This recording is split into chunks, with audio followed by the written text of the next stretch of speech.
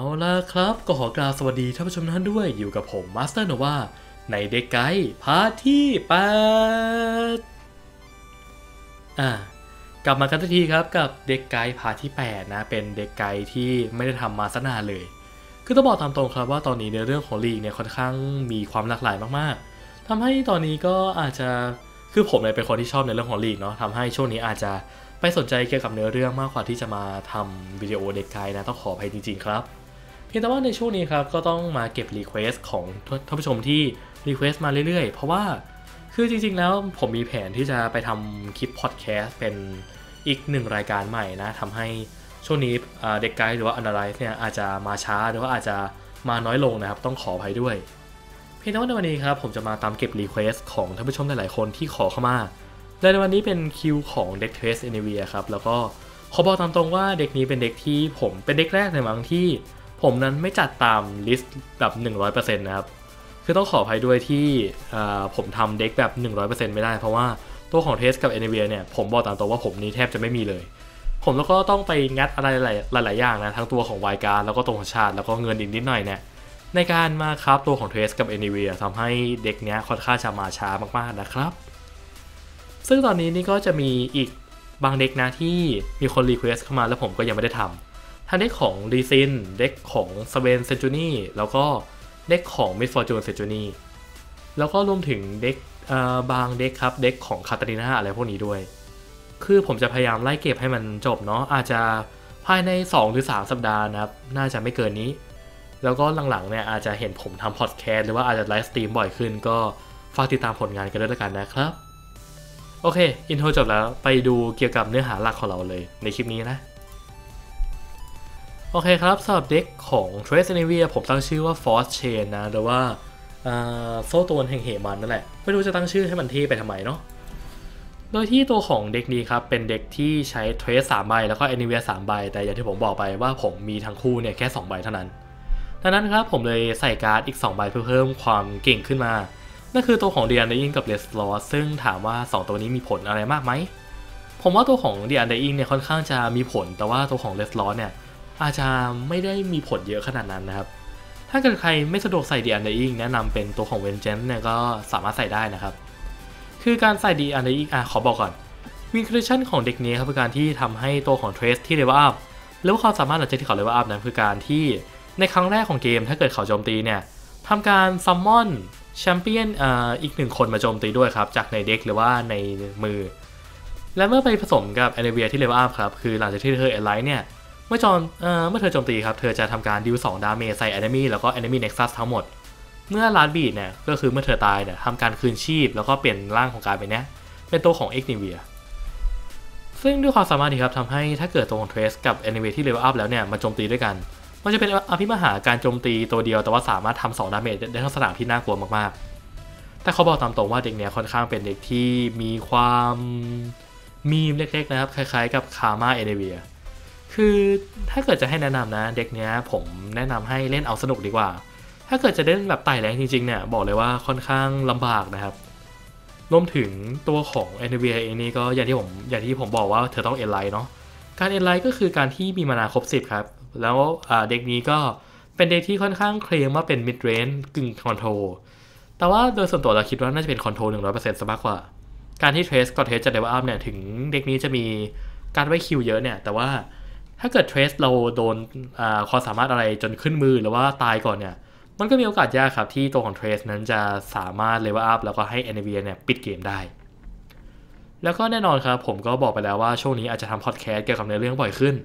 ทั้งนั้นในช่วง Deck Guide นี่ก็ต้องมีผลกระทบบ้างแหละ ผมจะมาเล่าประวัติสั้นๆของ Thresh กับ Anivia สักครู่หนึ่งนะครับโดยที่ตัวของ Thresh ครับเขานั้นเป็นผู้คนที่อาศัยอยู่ในอดีตเกาะเบสซิงไอหรือว่า อดีตเกาะ Shadow Isles ที่สมัยก่อนเคยเป็นเกาะที่รุ่งเรืองเนาะในสมัยก่อนครับ Thresh นั้นเป็นคนที่ค่อนข้างมีความวิกลจริตแล้วก็มีความบ้าในตัวคล้ายๆกับโจเกอร์เขานั้นยินดีที่จะยอมรับความตายจาก Shadow Isle แล้วก็กลายมาเป็น warden ให้เกาะของ Shadow Isle ครับแล้วก็คอยลากดวงวิญญาณที่หลงเข้ามาในป่าเอ่อให้มายังเกาะแห่งนี้เพื่อไปทรมานในตะเกียงของเขานั่นเองส่วนตัวของเอเดเวียครับ เธอเป็นนกน้ำแข็ง demigod จาก Freljord demigod คือพวกครึ่งเทพครับ เธอนั้นเป็น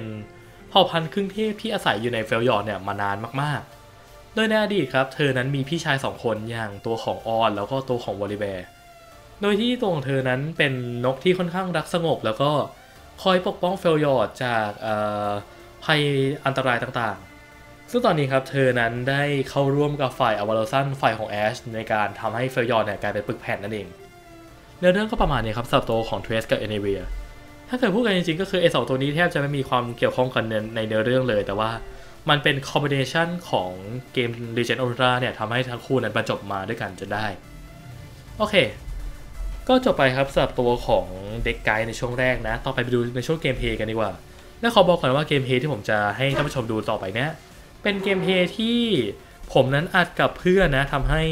อาจจะมีจังหวะโทรหรือว่าจังหวะที่ไม่ควรทำนะครับถ้าเกิดมันเป็นเกมแรงอะนะ ดังนั้นครับก็ขอเตือนไว้ก่อนเลยกันว่าหลายๆจังหวะในเกมนั้นน่ะผมไม่แนะนำให้ทำแล้วก็อย่าทำกันเลยนะครับ โอเค จบเรื่องเด็กกายแล้วไปดูเกมเพลย์กันเลยครับ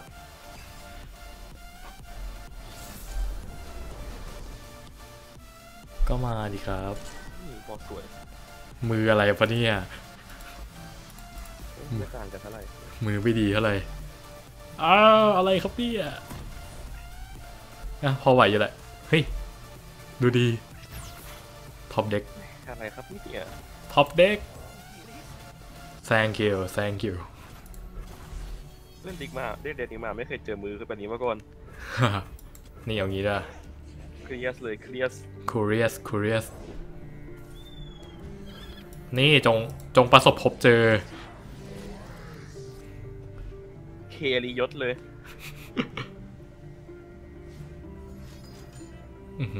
ซ้ำงานรีบตอด รีบตอด อะไรครับนี่ฮะรีบตอดจะจัดคอมโบน่ากินเลยอันรวมกัน ก็มือก็ก็มือโอ้โหล้อมสิบดาเมจก็ยอมรับเลยแหละ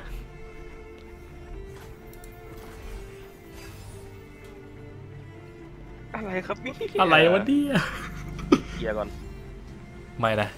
โอ้โห หายไปเกือบหมดเกือบเจ็บจุงเลยมานาหมดเรียกว่าจุกเล็กวัวแต่วัวไม่ก็ตัวเลย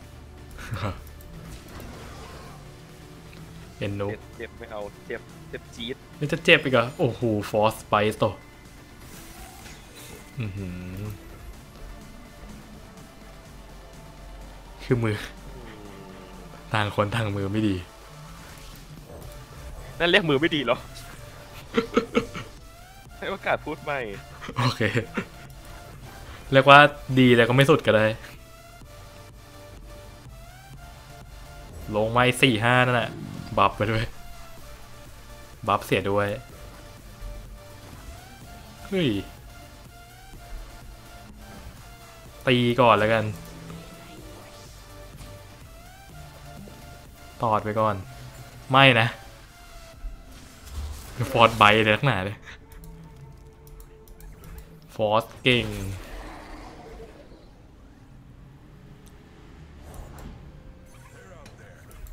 จัวเต็มจัว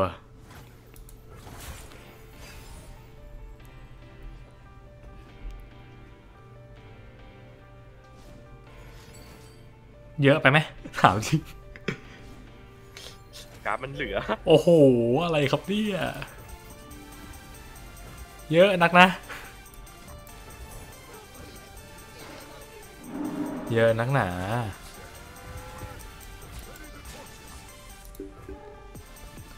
จัวคนละใบอะจะบอกนะมีบิเทอร์สตีลอะโอเค ไม่มี ไม่มีเลย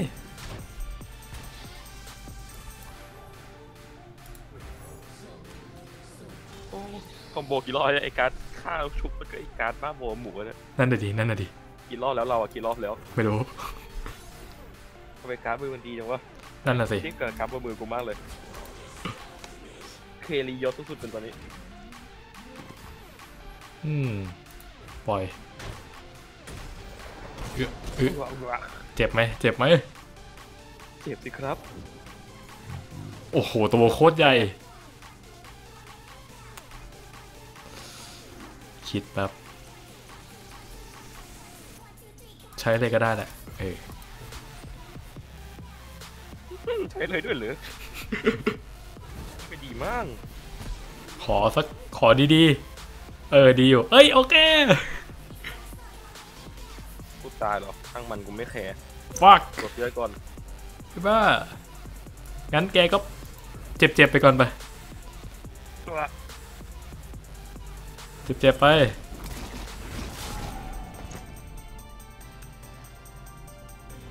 ลงมาเพราะว่าอนาคตไอ้พวกนี้นี่ก็จะตายกันหมดอยู่แล้วแม่เดียสเครียดเลยเครียดปวดหมองปวดหมองมันหมองอืมลงเรื่อยๆอะ ลงไปเรื่อยว่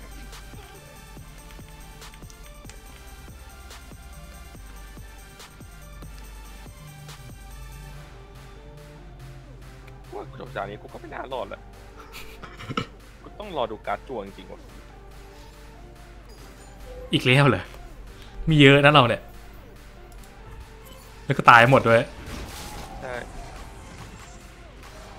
โอ้โหเพียบเพียบพอแล้วเพียบโอ้โหโอ้โหโอ้โหเพียบเท level up เหรอเพื่อนเยอะเยอะเทเท level up เหรอทำไมการ์ดอย่างนี้มันขึ้นมือบ่อยจังวะ ขึ้นมาสามตัว ช่วยไม่ได้ เอริยศลงมา มาแล้วตัวคีรักแต่แต่ตัวเตวหัวหน้าไม่มา เอออะอย่างน้อยก็ขอให้เอเดวิเอเดเวียเราได้เชิดฉายหน่อยถ้าเกิดได้เทรดมานี่หา โอเค โอเค เฮ้ยเฮ้ยบีเอ็มนี่ว่าคิวสงไม่พอสามไม่พอบีเอ็มนี่ว่า ไม่บีไอ้บ้า นึกว่าจบแล้วเกือเดือนหนึ่งกูทำได้ว่าไม่แล้วเหรอ เริ่มเกมมาแม่งสเปลล้วน อุ้ย นี่บอกเลยหมดมือหมดมือ หมดมือหมดมือ หมดมือ หมดจริงๆ อุ้ย หมดจริงด้วย ก็มาดิครับอืมเรียกว่าก็ก็ก็มาดิครับ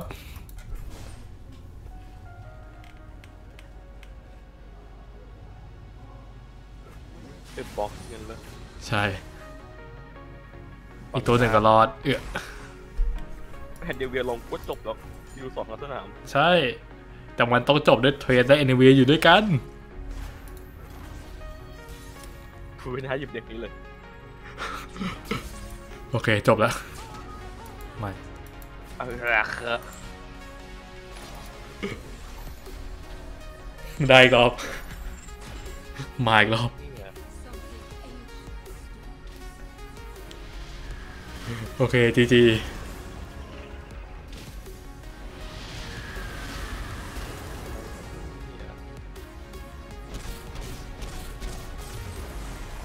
มือขึ้นดีจริงอันนี้ อันนี้ยอมรับเบสเจอแอนนิเวแอชก็ดีกว่ามันได้ โอเคครับจากที่เห็นไปยอมรับว่าค่อนข้างจะโชว์เกมในจังหวะ BM ก็คือ จังหวะที่ผมนั้นสามารถลากทุกตัวไปตีได้ แต่ผมเลือกจะใช้แค่ Trace ที่ Level Up นะ เพื่ออยากให้ e n e v a n นั้นส่งผลได้เยอะที่สุดจนสุดท้ายแล้วบอกตามๆว่าบอกตามบอกตามตรงตรงๆเลยนะ แบบตรงๆสุดๆอะ จังหวะอย่างนั้นคือไม่ควรทำนะครับถึงมันจะอ่าเป็นจังหวะที่เรานั้นคิดว่าเรานั้นได้เปรียบแต่ว่าในแรงจริงๆแล้วก็ไม่ควรทำคือเราจะเห็นว่า deck เนี้ยค่อนข้าง ถ้าเกิดมือดีแบบที่ผมขึ้นในคลิปนะนะ มันจะเป็นอะไรที่ดีมากครับ เพราะว่า Thresh เราจะสวรรค์มากละสวรรค์แบบมากๆเลย คือตัวของ Thresh เนี่ยจะเรียกว่าอัพเร็วมาก ถ้าเกิดการ์ดในมือหรือว่าการ์ดในสนามเนี่ยมันเป็นใจ อย่างในกรณีอื่น ถ้าเกิดตัวของอชุบเพื่อนไม่ขึ้นหรือว่าตัวของ Rekindler ไม่ขึ้นเนี่ย ก็จะเป็นการลำบากมากครับ ที่เรานั้นจะไปชนะอีกฝ่ายได้ การที่ตัวของ Butcher หรือว่าตัวของ Hapless อ่าอ่าขอเรียกว่า Hapless เฉยๆแล้วกัน เป็นตัวละครที่ขึ้นมาในช่วงแรกๆเนี่ย ถือว่าเป็นความเป็นกำไรระดับหนึ่งของ deck deck นี้เนาะการที่มี Cursed Keeper Glimpse Beyond หรือแม้แต่ Mist's Call เข้ามาเนี่ยครับเพื่อเป็นการรักษาชีวิตหรือว่าการเพิ่มโอกาสที่เรานั้นจะได้ unit ตัวใหญ่ในช่วงต้นเกมอย่างที่ผมบอกว่า deck เนี้ยค่อนข้าง มีความเป็น midrange ออกไปทาง control มากๆดังนั้นแล้วการที่เราอยู่รอดในช่วงต้นเกมได้เนี่ยถือว่าเป็นกำไรมากๆสำหรับตัวของ deck นี้ แต่สุดท้ายก็อย่างที่บอกครับว่าถ้าเกิดมือเราไม่ดีหรือว่าถ้าเกิดเราเล่นพลาดบ่อยๆเนี่ย deck นี้เรียกว่ามี win condition ที่ค่อนข้างอ่าต่ำแล้วก็มี win rate ที่ค่อนข้างน้อยนะครับดังนั้นแล้วก็ถ้าเกิดใครอยากจะเล่น deck นี้จริงๆแนะนำให้เล่นแบบเอาสนุกมากกว่านะ หรือว่าถ้าเกิดใครนั้นอยากจะลองลองของนะครับแล้วก็มีความเพียรพยายามเนี่ยก็สามารถลงแรงได้ครับ ถ้าเกิด เรานั้นมีมือที่ดีแล้วเราสามารถบริหารจัดการมือที่ดีเนี่ยผมว่า deck นี้ก็เป็น deck ที่ค่อนข้างน่าสนุกมันคล้ายๆ กับตัวของ Karma Anivia แหละ